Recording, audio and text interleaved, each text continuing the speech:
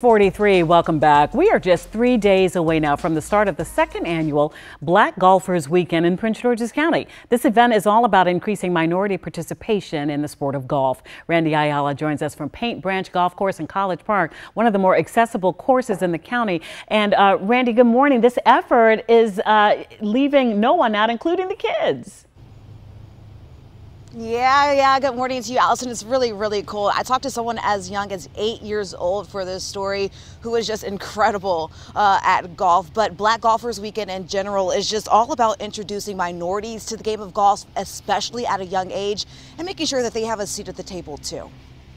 It's a game that requires patience and persistence. Values that are taught to them within the game of golf uh, translate directly into life, like that honesty, integrity, uh, responsibility, the perseverance, the sportsmanship. Manny Jennings is 10 and already won first place in two different golf tournaments.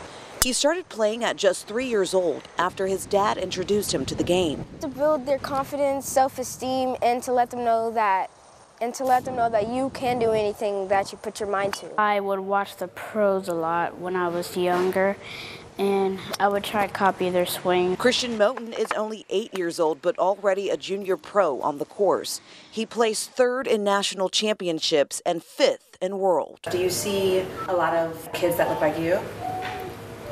Um, a little bit, yes. Would you like to see more? Yes, I would love to see more. According to the National Golf Foundation, there were five and a half million on course golfers that identified as Asian, Black, and Hispanic in 2022. But that's only 22% of the overall participant pool. We saw the need. We saw often it was just Christian out there, the only black boy playing amongst his peers. So it was important to us to try to diversify the game of golf. The Motens recently launched For the Culture it's an initiative to introduce golf to young kids of color. The couple says even if they don't go pro or get scholarships for school, it can help prepare them for the workforce. It's making black and brown children feel comfortable coming to golf courses in order to prepare them for the co corporate world. Golf can play and probably will play an integral part in their development and a lot of the deals will be done on the golf courses, both public and private. So, why is it that more kids of color aren't playing the game?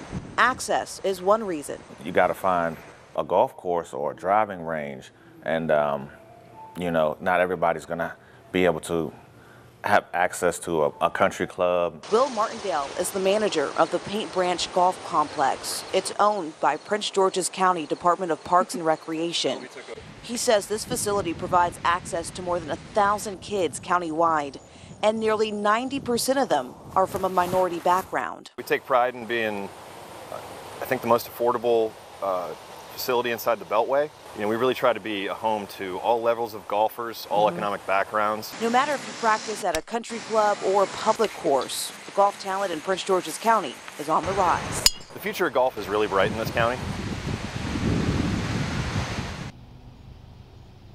All right, so uh, Black Golfers Weekend, the second annual, officially kicks off Thursday and runs through Sunday. I'm going to post all the information, how you can sign up, uh, all the events that they're going to have going on on our website, WUSA9.com. I also spoke to an organizer as well as a Master Gee from the Sugarhill Gang uh, group, uh, back in the day group. He's hosting, they're celebrating 50 years of hip hop as well. It's going to be a really, really big uh, event going on in Prince George's County, so I'll have all the details online. Guys, wait, wait, wait. wait. So cool. M A S T E R, a G with a double E.